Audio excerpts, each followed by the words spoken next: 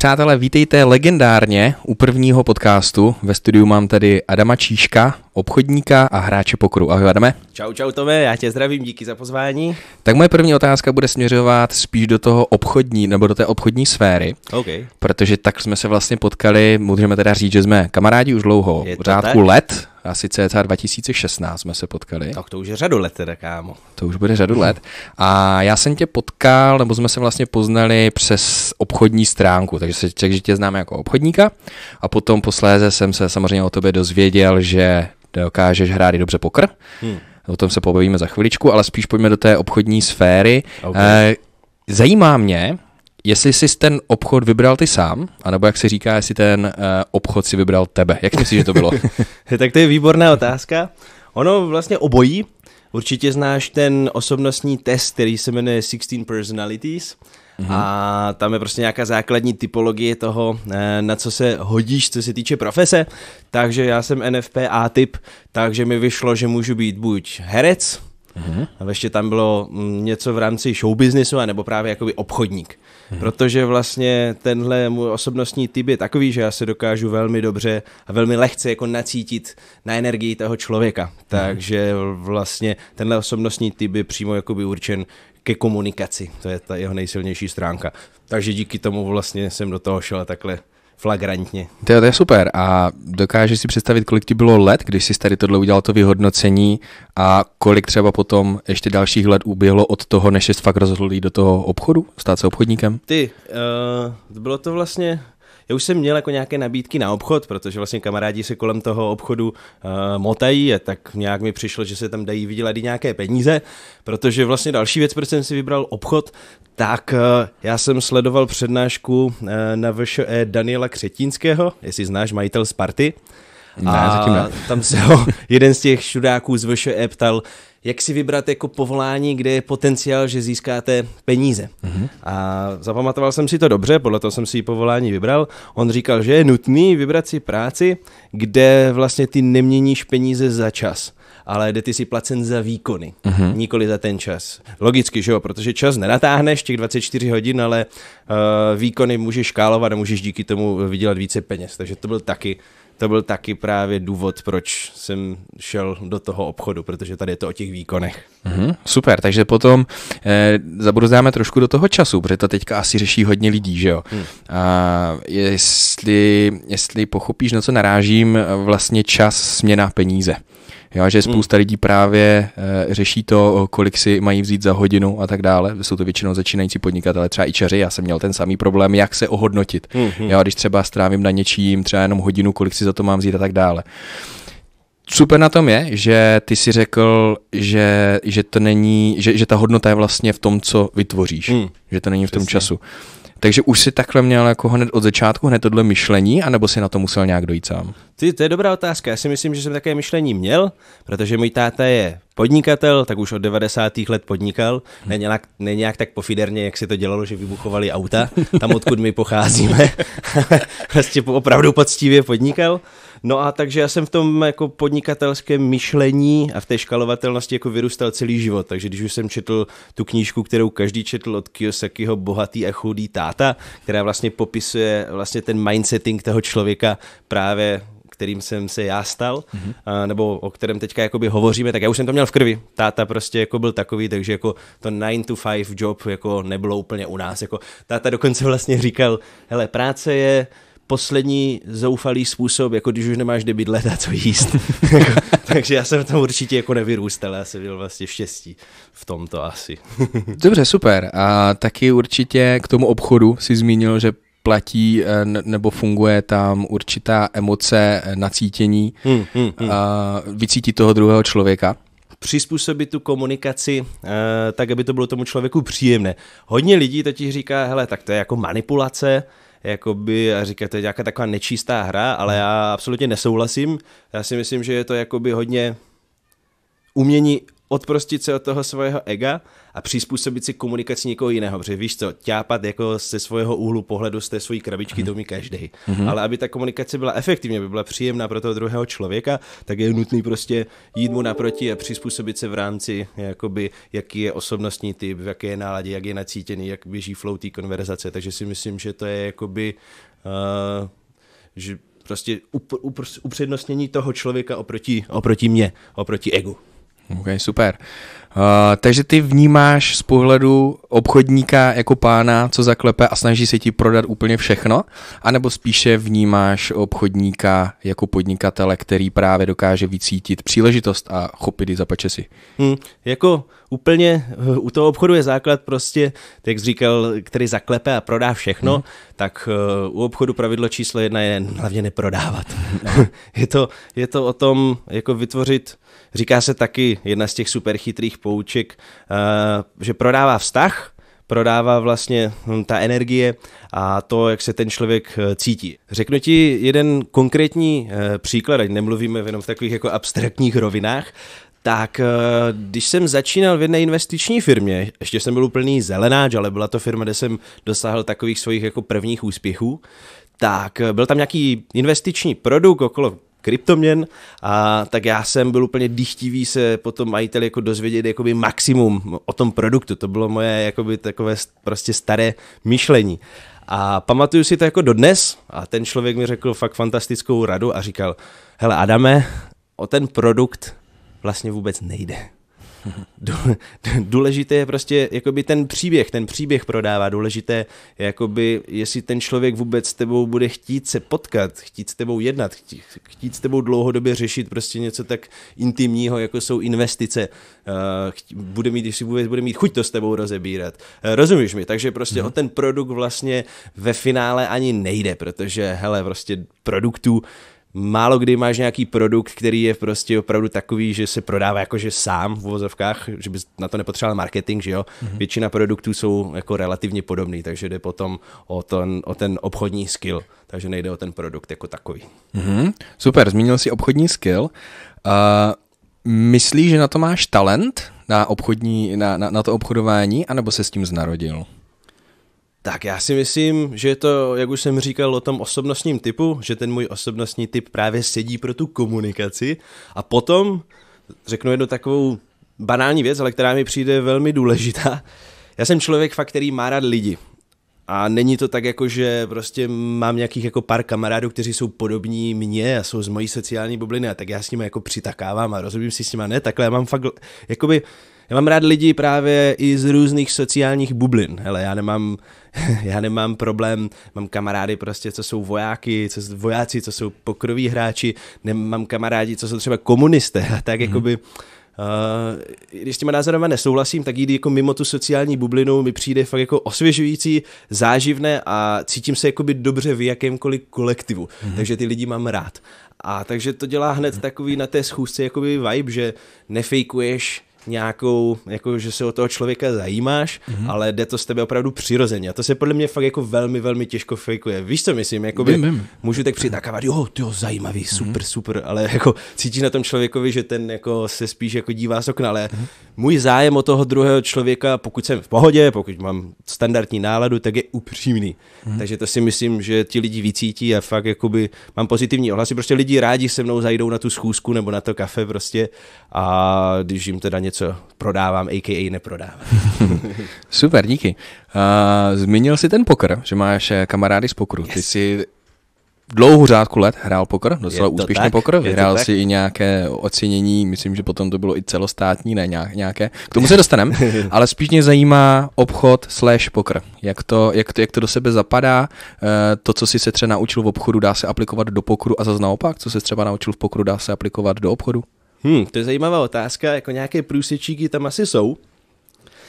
V rámci té hry jako takové ne, ta je fundamentálně jakoby spíš analytická, je to hra neúplných informací, dost něco podobného jako třeba investování, ten risk-reward pattern je tam třeba taky známý, takže tam asi jakoby obchod nehledat, ale možná ten pokrový život jako takový, tak uh, nějaké ty obchodní skill jsem tam možná jakoby načerpal, protože tam, že jo, třeba hrají s nějakou skupinou lidí, a kde jsou třeba, já si pamatuju, když jsem začínal hrát poker, tak mě bylo 18, hráli jsme prostě, nevím, jestli divákům něco řekne, prostě hráli jsme cash game, eh, kde každý měl před sebou třeba tak okolo nízké desítky tisíc. Nahrál jsem to já, mě bylo 18 a další podnikatelé, že, kterým bylo 40 a mm-hmm. tak, jako tenkrát to moc nikdo jako nehrál. No a eh, je tam důležitá jakoby vůbec aby ti lidi s tebou chtěli hrát, tak je důležité, že jo, nejenom, že je obíráš, ale aby se s tebou jako cítili dobře.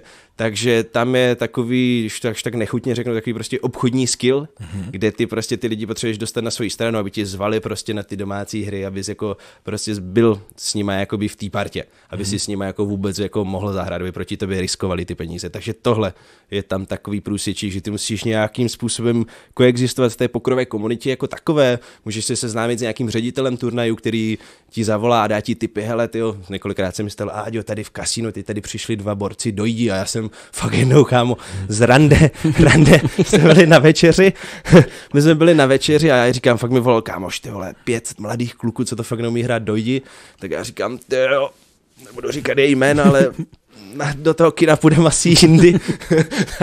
Takže asi tak, no. Takže prostě long story short je dobrý, a to vlastně všude, mít ty lidi na své straně a to je jakoby prostě obchod. Prodává ten vztah, prodáváš sebe v podstatě. Mm-hmm.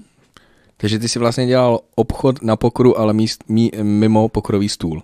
Přesně tak, přesně tak. No možná v rámci těch her i jako na tom pokrovém uh-huh. stole, tak zahodíš ty karty a teď jako můžeš jakoby tvořit ty vztahy. Takhle si to asi neřekneš, nebo já jsem si to... Uh-huh tak, takovýmto způsobem, co se o tom bavíme, neracionalizoval, ale jakož jsem uměl prostě přirozeně ty vztahy tvořit, v tom jsem vlastně velmi silný, to když se mě HRistky ptají vždycky, tak já umím budovat jakoby ty dlouhodobé vztahy a takže to už tam jako nevědomky jako nějakým způsobem jakoby probíhalo, ale pro mě to přirozeně jednoduché, mm-hmm. jelikož ty lidi mám fakt rád, tak to není jako, že se musím do toho nějak jako nakopávat, spíš to je fakt ze mě. Mm-hmm. Super. Já teda můžu říct za mě, když jsme se poprvé po, jako poznali, tak hmm. přesně z tebe vyzařovala taková ta aura, taková ta, že si říkáš, tak toho člověka chci ještě příště ještě jedenkrát jako vidět hmm, minimálně. Hmm, hmm. No a takhle už se prostě vydáme, takhle už se vydáme 6 let. Tak se vydáme. Jo, takže máš, máš rozhodně pravdu, no, to je, to je, to je super. A Zajímá mě obchodní skills přímo do toho pokru, narážím na to, když máš třeba v ruce dvě ESA, jestli, jestli po poker face, je, jestli to jde nějak prostě vyobchodovat, anebo když máš třeba nej, nejhorší dvě karty, hmm, jestli hmm. to nějak dokážeš jako prodat, vyobchodovat to. Jo, tak to. Tu handu. Jo, tak to. No tak jako ten poker face přesně je o tom, jak říkáš, aby si uh, těma nonverbálníma znakama uh, nedal ty protistraně najevo, jakoby co se děje. Uh, jako to asi můžeš použít i v obchodě, ale tak to mi přijde, že to už je obchod jako neetický, který bych jako nedělal, to opravdu spíš jakoby, protože co se týče blafování, což je legitimní v pokru, tak ekvivalent do obchodu by byla fakt jako lež. Mm-hmm. A to je něco jako do čeho bych jako prostě nešel, necítil bych se v tom mm-hmm. dobře a už právě ten level té autenticity, který mi právě nosí ty peníze, tak by se vytratil, protože by tam logicky jako nebyl, takže takhle se to asi jako nedá skřížit. Mm-hmm. Super, v kolika ti letech jsi začínal s pokrem? V těch 18? Snadně nezavřou. Já jsem, no tak samozřejmě na PokerStars to jde od 18, to je vlastně online, nejznámější online herna, jestli diváci neví, tak tam jsem hrál na tátu v úček, ze začátku doufám, že mě nebudou chtít ty vrachy zpátky teďka. ne, ale hele, začal jsem hrát od 15 nebo od 16 a pamatuju si to, naučil mě to jeden můj kamarád. On je teda těžký alkoholik, takže jsme to hráli s vrškama od piva. On mm-hmm. si nesl tyjo, prostě tisíc vršků od piva. A můj první pokr bylo u mě eh, na starém baráku, tam dokonce ještě ani nebyl, protože to bylo fakt dávno, a, tak jsme hráli na podlaze s vrškama od piv. Mm-hmm. A, strašně mě to bavilo, přišlo mi to jako super a říkal jsem si potom, jak jsme to hráli víckrát, jak to, že ten Michal, tady ho zdravím tímto, který mě vlastně naučil pokr, nebo spíš mi tam přizval, ukázal mi to. Takže jsem si vždycky říkal, tyjo, proč vždycky vyhrává ten Michal? To asi mm-hmm. nebude úplně jako o náhodě, že se tam skládají mm-hmm. nějaké karty. Takže to bylo v 15 nebo v 16 a pak my jsme dole měli takovou jakoby klubovnu na baráku, když jsem bydlel s rodiči, tak tam jsme mastili potom už každý den. I můj brácha 13 let s náma hrál prostě o peníze, takže snad nepřijde Berňák a ne, to... nezabavíme ale to, takhle jsem to hrál už od 13 let. Fakt mě to bavilo. Fakt mě to neuvěřitelně bavilo. Já si pamatuju, pamatuju si to, když jsem dodělával maturitu, já jsem si říkal, ty jo, těším se, až to budu mít za sebou a budu hrát pokra. Jsem každý den byl v kasínu, kámo, každý den po, po, po té maturitě. Takže fakt, fakt mě to moc bavilo. Super, uh, samozřejmě k tomu dojdem, jak, jak jsi hrál a, a co všechno si vyhrál. A dejme tomu, že bylo ti 13 let, přičuchnul si k pokru, začal si to hrát a pamatuješ si nějaký svůj takový opravdu turnaj, kde šlo z tvého pohledu jako o hodně, protože si už, už hrál o reálné peníze. Jak jsi z toho cítil? A nějaký tvůj první velký turnaj, kde třeba bylo, já nevím, 100 hráčů, 200 hráčů. OK, OK. Kolik ti bylo let? No tak ty větší turnaje asi já jsem se teda specializoval spíš na cash game, ale ty turnaje samozřejmě větší byly samozřejmě v kasínu, to už mi muselo být 18, tam už tě nepustí, tam na tvrdo musíš ukázat občanku. Tam to nešlo na tátu vůčet, jo. no šel jsem s tátou a táta mi samozřejmě zaplatil bájin, protože mm. já jsem jako žádné peníze neměl tenkrát.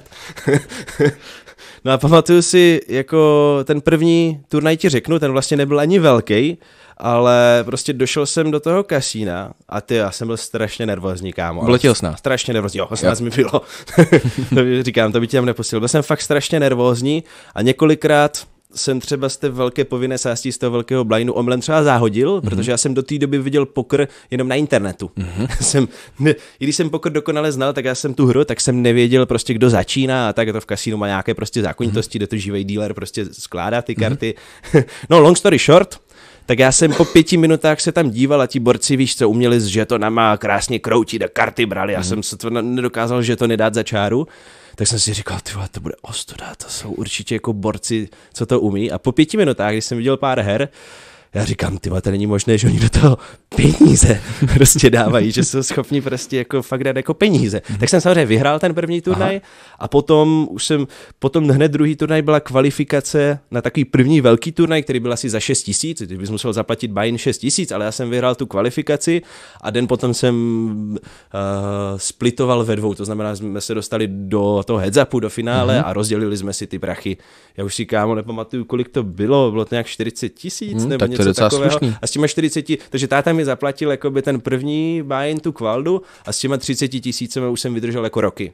Jako, wow. že, jako, že to už jsem jako rozmnožil, potom už to byl, jak se říká, bankroll, to jsou peníze, bankroll, mm-hmm. jsou peníze, které máš určené jenom jakoby pro tu hru. Mm-hmm. Takže s tím už jsem vydržel jakoby leta. Takže investice 0,0 nic? No tak díky tátovi, no, no bez, státy, bez státy... Jako z tvé vlastní kapsy, investice 0,0 nic. Tak já jsem že byl to... nervózní. Ze...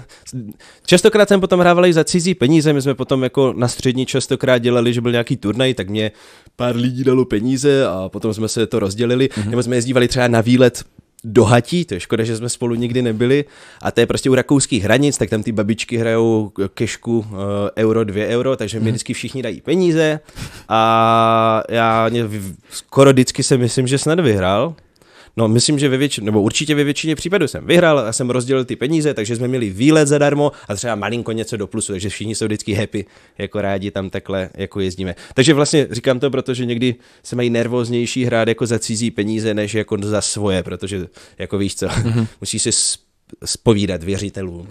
Máš tam určitou zodpovědnost. Mm. OK, super. Uh, pojďme teda k nějakému velkému turnaji, který si vyhrál. Hmm. Myslím teďka přímo ten, ty, ty jsi mi říkal, že jsi vyhrál. Uh, tak, no to, tak asi, tak, asi to povykládej ty. Turnaju jsem hrál, uh, turnaju jsem hrál opravdu málo, já jsem se potom živil hlavně tou cash game, můžu když tak vysvětlit rozdíl turnaje hmm. cash game.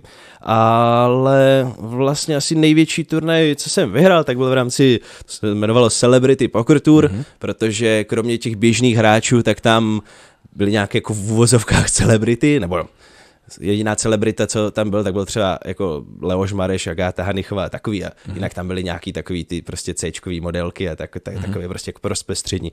Takže v rámci tohoto, tak jsem, jsem vlastně vyhrál celý žebříček za Moravu, takže to jsem tam jako hafo těch turnajů vyhrál a největší ten turnaj, co byl, tak to byl za tři tisíce korun a za první místo bylo 70 tisíc, mm-hmm. což bylo fajn.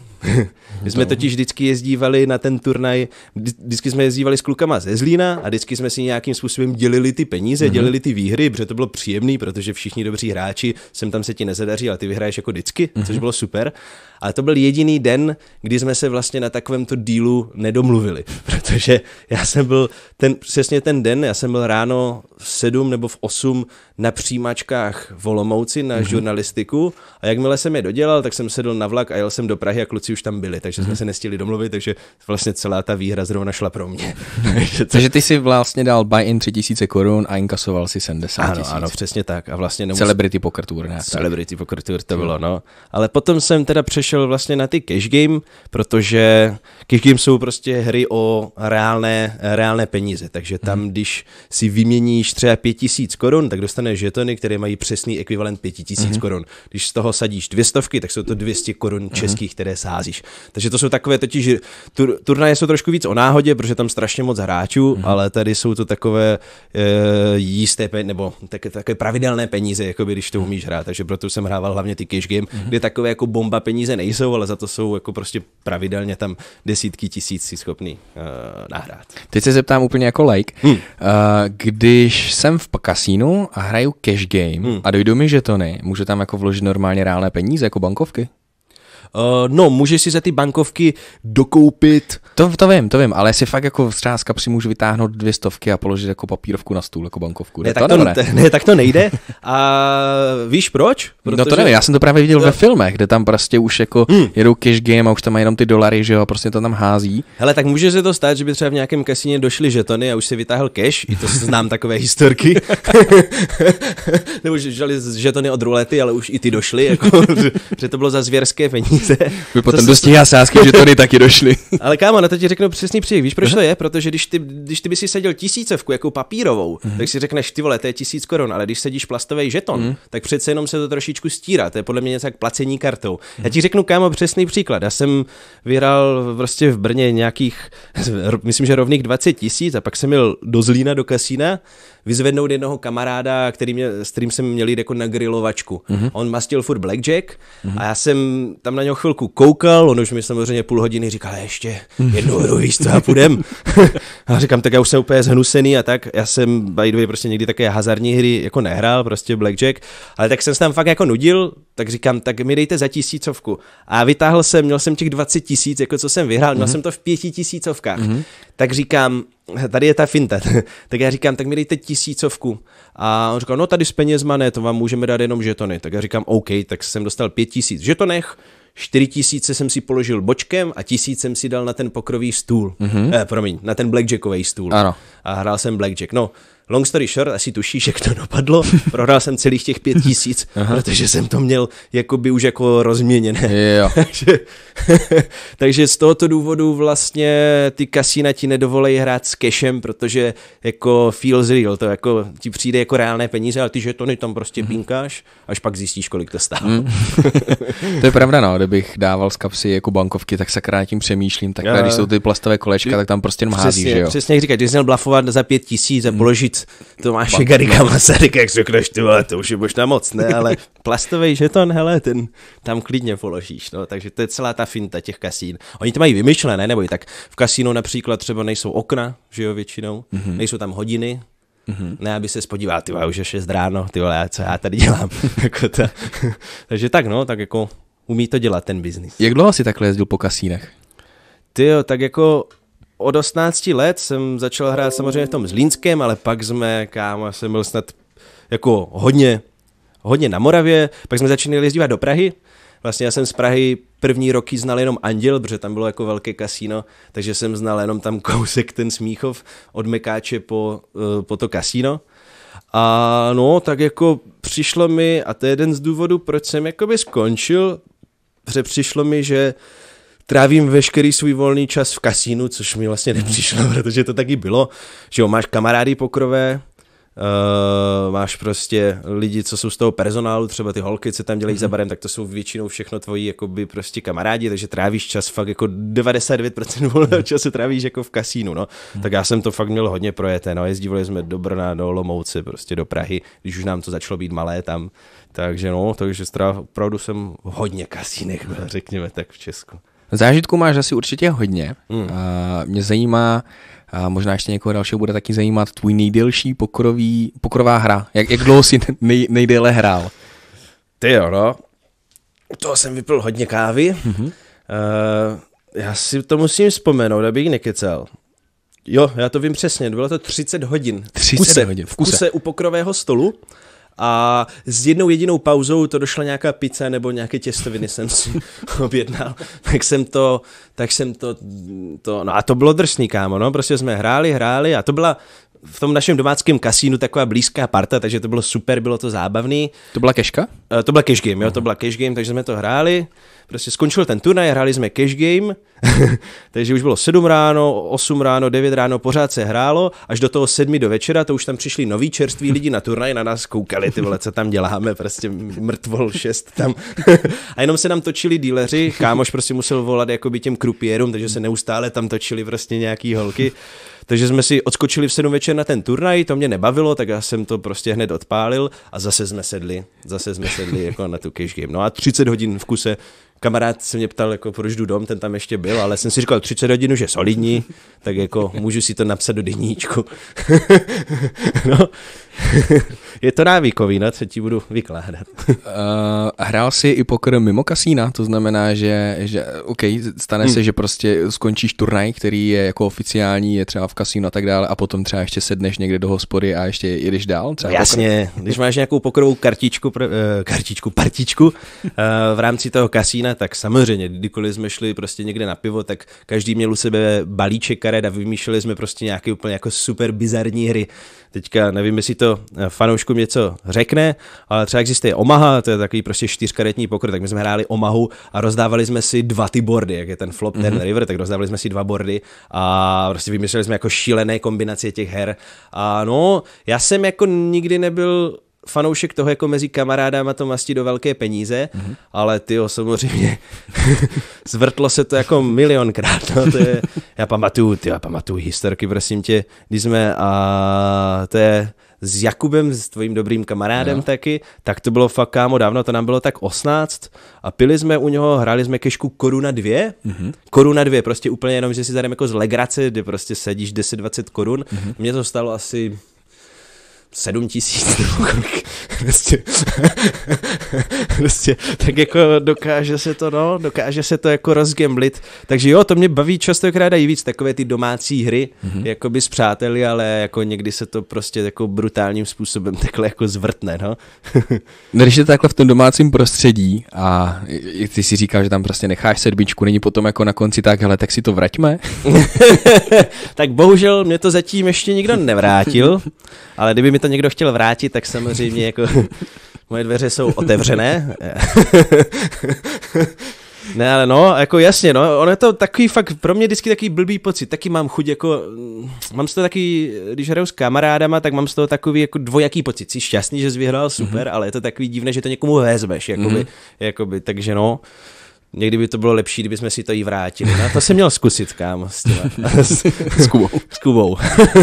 ok, super. Hele, pojďme, už budeme mít zase za sebou 30 minut, půl hodiny. Tak pojďme. Ten čas letí. Ten, ten, ten čas letí, no. A mě ještě zajímá nějaká nejvíce bizarní historka za dobu, co jsi hrál pokr. Ty kráso, tak to musím... Z kasína, z kasína. Možná troš, trošičku jako vyfiltrovat. Napadá mě jedna historka, ale tady je o život možná. Je tam nějaký člověk, který uh, tady má jako takovou horší reputaci v Praze, ale no to je jedno, já to asi řeknu, eh, že No, buď, buď, jestli, jestli, můžu, jestli můžu, mně se, mně se strašně líbila ta, jak, jak, jsi, jak jsi šel hrát za nějakým tím mafiánem do toho kasína. To se mi líbilo moc. Tak to, to bylo taky pěkné. No, no tak. tak nebudu jmenovat. tak, tak, si, tak si nějakou vyber a jo, jo, tak můžu říct, no to bylo spíš takové fakt jako fakt jako, jako bizarní, no. Eh, bylo to jedno nejmenované v kasíno v Praze, které teďka asi ani nefunguje. A já jsem tam šel hrát poker a byla tam hodně zajímavá sestava. Uh, vlastně lidí, který jsem trošku jako i znal jako z, jako z televize, takže jako známe prostě český pokorový hráči, tak jsem si to šel s nima pinknout, když jsem viděl, že ten pokor je tam jako, že ten stůl je silný, jako že to není moc peníze, já jsem něco vyhrál teda. No a nejvíc jsem vyhrál od člověka, který tam prostě seděl, měl takový jako cizí východní přízvuk, klasicky. A pokaždé, když prohrál, tak měl takové zajímavé jako průpovídky. Jak prostě se tady může uh, mluvit u tebe? Jo, já to potom vypípám. Dobře. Uh, no, já budu, já budu asi slušný, jsme kultivovaný pořád přeci jenom, tak ať nastavíme tu laťku nějak jako solidně, když je tohle první díl. Dobře. No, tak on vždycky prohrál a začal fakt té krupírce, ale ty kámo úplně nechutně prostě nadávat jako do a prostě do takových, ale úplně prostě na ní to. A ona se jenom na něho usmála a míchala dál. A si říkám, ty to je divný. A nebo on třeba nad jedním tím známým pokrovým hráčem českým, tak nad ním vyhrál mm-hmm. ten dotyčný člověk, ten východňar, a on mu říkal, hele, tak pět, pětistovku mi z toho dáš. On se natáhl a hodil po něm pětistovku. Já jsem říkal, ty co se děje, ty nějaký, vole, to je, nějaké divné prostě. No až jsem s ním měl jednu hru. A bylo to jako reálně v kasínu. Reálně v kasínu, no je peníze, prostě peníze. Nadával tam veškerému personálu, ale ty holky se na něho jenom usmívali, že jo. Mm-hmm. Jo, jo, tak jako to. No a pak jsem s ním měl jednu hru, když jsem ho prostě dobře dokoloval, jsem měl jako high kartu jenom ESO a třikrát jsem ho vykoloval, on mi ukázal jako bluff mm-hmm. a já jsem ukázal to ESO high. A kámo, ty vole, to tam úplně stichlo, všichni se přestali bavit a si říkám, ty vole, co se děje? On na mě dal, eh, vlastně ke mně jedinému nebyl hnusný, jakoby, a tak se mnou pobavilo, to se jako, no, dobře, jak kde si, co si. Takže prostě taková divná atmosféra. No a pak jsem zjistil, že to je člověk, který tam jako prohrál jako nízké jako miliony v té jako relativně malé hře. No a pak jsem začal slíkat takové historky ve stylu, že on třeba s někým prohrál, do mě prohrál teda hodně, ale s někým třeba prohrál a venku mu ukázal pistoli a říkal, hele komu, tak to mi dáš tady tyhle peníze. tady si to vrátíme. A, asi, no tak tady je to, přesně jak říkáš, tady je, tady je to vracení, jako no. Takže jo, jsem si říkal, jako, no, kamarád mi pak říkal, ty, ty jsi blázen, jako, takhle tam s ním hrát, no, takže prostě i takové jako bizarní historky to prostě přinese, no, ten poker. Super, děkuju. Uh, děkuji moc za rozhovor, bylo to s tebou příjemné. Ty díky, bylo to super. Uteklo to jako voda, to by člověk neřekl, že si povídáme 30 minut. Je to tak. Přátelé, děkuji, Adam Čížek.